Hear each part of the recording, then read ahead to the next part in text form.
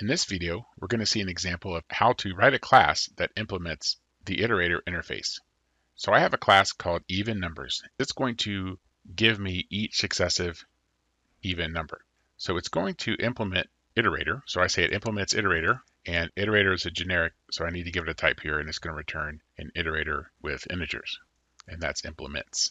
So now when I type this, first off, it doesn't know what this is. So I need to import iterator. And now that it knows what that is, it says, hey, you have another problem. You haven't implemented all the methods you need. So we'll take care of that in just a moment. So first off, I'm going to have two integers, the current number and the max number. Let me create a constructor or let Eclipse generate a constructor for me. I only want the constructor to take in max though, not num. So that's good. And then if you don't pass up the end, the default constructor, I'll use the integer max value so this will go to whatever the maximum integer value allowed by this machine. Now I need to implement these methods. So I could write them out, but to be sure that I get the signatures and everything correct, I'm just going to say add unimplemented methods because you'll notice I my class name is underlined in red. If I hover over, it gives me the option to, I could make it abstract, but hopefully you can see why that would be a terrible idea. I want to add the unimplemented methods. So now I have a has next and a next method. We're good to go. In this constructor, I do want to make sure that num is equal to zero. I guess I could, if I wanted to, I could set up another constructor that lets you say the even number is starting at some other value, but I'm not going to mess with that.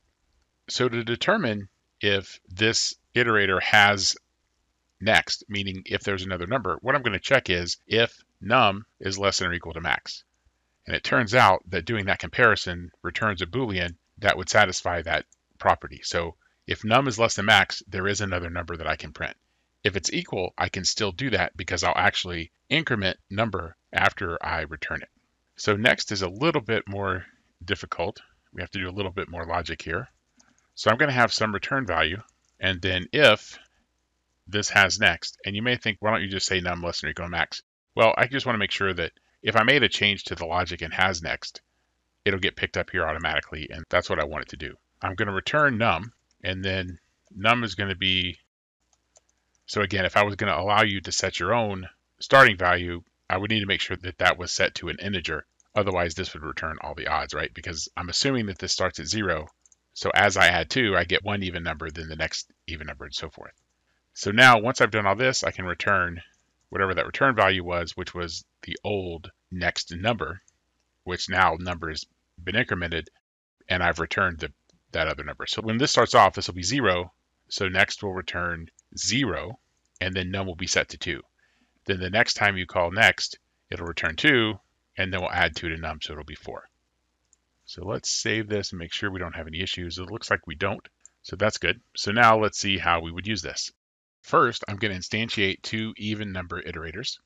And then the first one is evens, and I'll give that a max of 10.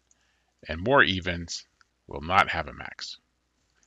So I'll create a loop here and I'll say while evens has next, I want to print evens.next. And I'll add a space and that'll print all the evens. Now for more evens, and I guess that should be lowercase.